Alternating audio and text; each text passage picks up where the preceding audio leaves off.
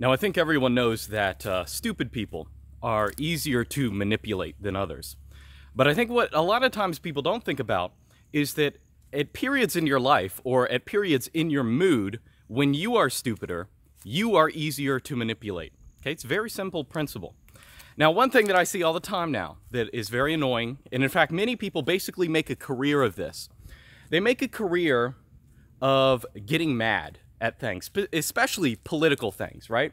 So they spend all day, all their free time on the internet, and they just like getting mad at things. Oh, look at all these things that are wrong in the world. Oh, it's so terrible. I'm getting so angry, blah, blah, blah. Okay. Um, now, in, um, you know, th there's a term in politics, right? Or, yeah, I guess in propaganda, right? Called agitprop. And okay, that's agitation propaganda. It's propaganda that's put out there basically to make you angry. Um, now, the thing is, when you are angry, you are stupider in a, in a very real sense. When you're governed by a passion, you are, by definition, not thinking through what you're doing. You're at a lower level of cognition than you are usually, okay? So if you want to make someone stupid and therefore easier to manipulate, one very good thing to do is to make them angry if you are some kind of social engineer. Get them mad at something, right?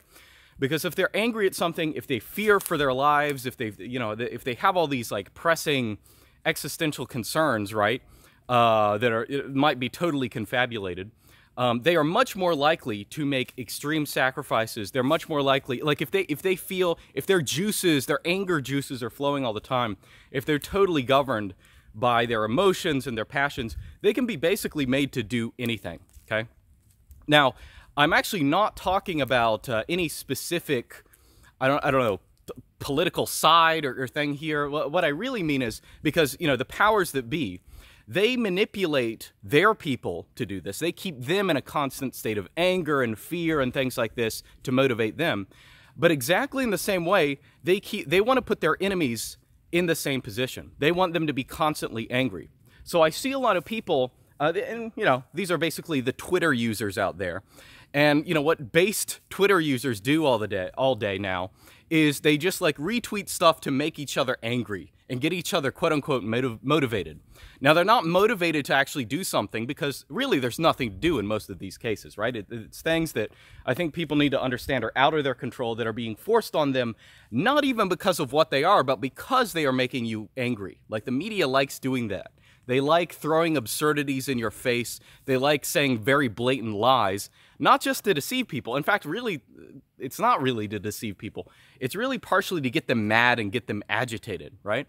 So there are a lot of people online now who will just be angry all the time. I mean, maybe not even like angry, angry, but there is a sense in which they're constantly like pessimistic. They're constantly like, oh my goodness, like all this terrible stuff is happening and we can't do anything. But I, uh, I'm angry. Why, why don't congressmen do something? Why don't blah, blah, blah? Uh, people are going to rise up eventually, blah, which is a total LARP, okay? Uh, it, it's frankly like kind of Fed posting. Like you're, you're basically being forced into doing Fed posting at that point. Uh, and that, that's the point. Like the, the thing is when you're angry and you're not thinking through what you're doing, you want to fight battles that you can't win. You want to, uh, you know, die on principles that might, like, things aren't really as bad as you think, right? The media wants you to feel like the walls are closing in. They want to produce that vision of inevitability, right? And if you're on the internet all day, if you're reading posts on twitter.com uh, all the time, and you're just getting angry at stuff, and you're not if you're you're not out there talking to real people, you are going to have a very I don't know, contorted view of the world. You know what I mean? And that's the point. Like the, the I think the point. Uh, one one thing that I think the media does very deliberately is they do try to make people angry, even their enemies angry. And you might think, oh well, they're motivating them. That's bad. No, like if if they're making you angry, they're making you angry in a domain that you don't have control over. Okay because they want you to act out. They want you to feel like you can't do anything. Like that impotence is is their desire, right? So, you know, this is why it's very important not to fall into passions like uh, anger and, and, things like this, because in most cases, you actually can't do anything. You know, a lot of people, uh, you know, a lot of, you know, there's that part in the Sermon on the Mount when Jesus says something like, you know, if someone smacks you, you know, you, you shouldn't smack him back, right? You know what I mean? Like, uh, turn the other cheek or whatever. Uh, and a lot of people will be like, oh, that's totally cocked. That's totally stupid. But the, the important principle there is that you cannot be in a state of reaction, right? if someone assaults you, in that example, if someone assaults you physically in real life, okay, a lot of the reason that they do that is because they know that they can beat you, right? They know that they're, they're going to be able to pound you if you react. Like they want to provoke you, okay? This is the point. And in politics, it's the same way. If the media or the opinion molding class or any of these kind of people, if they're doing egregious things that, you know, might elicit a reaction, they are expecting that reaction because you work for them. If, if you are if you are uh, reacting emotionally to things you are working for them. You're doing their bidding. I actually you know did a video a good bit ago about um, you know how, how this applies to uh, I, I, guess um, you know how people view freedom or uh, I, I, guess especially in the sexual domain, right? There is a sense in which if you can get people thinking about sexual things all the time, because that's a passion, because that's something that you know they it's more part of your animalistic brain. It's much easier to predict people's behavior if you're if you're tying them to these lower, more baser instincts. And it's the same way in anger, right? You're going to end up you're going to end up in the next Charlottesville January 6th hoax, the next op that they're going to do. And it's uh, like you have no one to blame but yourself.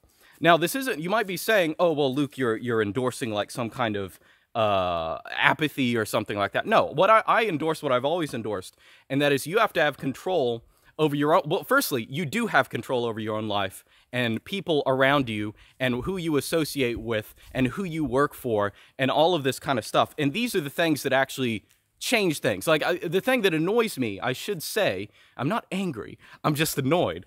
Is you know these people again, people who go on Twitter.com and get angry all the time, and then you know they don't actually change anything about their own life. They're still buying from Amazon. They're still like using social media and you know interacting with friends on social media and doing all this stupid stuff. Like they're doing the exact same things that are feeding into the system so they're not actually like making a difference. They're just getting angry in the meantime. And they're really losing on both fronts. The the real solution, I mean, most of the issues in the world, you can voluntarily separate yourself from them. And by voluntarily separating yourself from them, you actually make the problem less bad. That, that's the issue. Like if, if you step away from the beast system, there is a sense in which it loses power. And you also are, are basically public, publicly setting a, an example for what other people are doing, right? What, what other people should do, right? So, uh, you know, that's just the issue I have. You know, so many normies are like, oh, I have to, oh, I have to keep, I have to get my stuff from Amazon.com, blah, blah, blah, blah. It's so hard. You know, I, I think if you just stop being reactive, okay, if you stop being reactive to these kind of political things and you look at things more rationally, um, you will, I don't know, there are a lot of things in people's lives that you will have to adjust. Okay, that's what I'm trying to say. So, uh, if you ever find yourself angry on the internet, that is like, first, just right off the bat, that is just super lame. If you're angry at something on the internet, it doesn't matter if it's super egregious. Um, you got to always watch yourself. There are reasons for having righteous anger. There are reasons for acting. There are reasons for, you know, do, I don't know, making making risks in real life and doing stuff like that. But um, what, what I see so often is that people are just plugged into the uh, social media feed all day, and they they just have like these basically evil spirits in them. You know, they're, they're they get like angry and they get um, controlled by all these. Uh, I don't know. They're, they're just they're just kind of like automata that are being like pushed around by you know whatever the targeted content is and that's pathetic like you you might think that you're fighting against the system but you're really not if you if you are emotionally reactive, you're losing. That's all I have to say.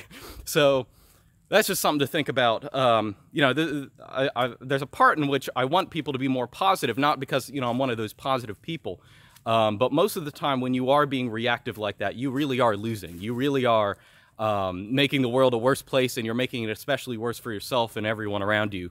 So, you know, that's all I have to say.